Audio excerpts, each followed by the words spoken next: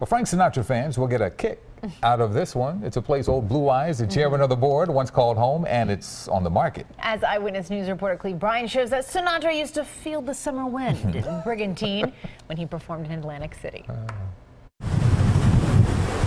The location is probably the best location in Brigantine. With unobstructed views of the beach, bay, and Atlantic City skyline, this Brigantine house doesn't require much of a sales pitch.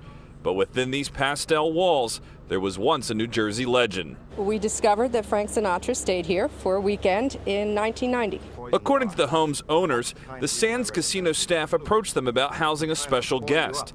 They didn't normally rent the house and were about to say no until the Sands revealed the mystery celebrity. They really didn't want to do it, but it was for Frank Sinatra, so they did it. They say Sinatra required a case of whiskey, a case of Hershey Kisses, and needed a piano. This piano was bought specifically for Frank Sinatra to use while he was renting the house. And he warmed up for his act here. This isn't a fishing tale at the Seaside Chalet. There are pictures to prove it.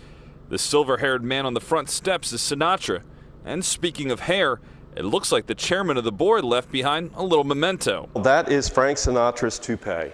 And Frank left this in the bathroom drawer in his room. They just weren't really interested in picking it up. So the, uh, the owners of the house have kept it uh, in pretty good shape. Even if the Frank Sinatra factor doesn't wow you, by the way, this is a premier house with almost 6,000 square feet of living space, eight bathrooms, five bedrooms. It sits on more than 100 pilings, and I understand it took Superstorm Sandy in stride. It's just a, an interesting piece of memorabilia and it makes the house a little bit more interesting, but the house should sell itself. All this and perhaps Sinatra's toupee could be yours for the listing price of $5.2 million.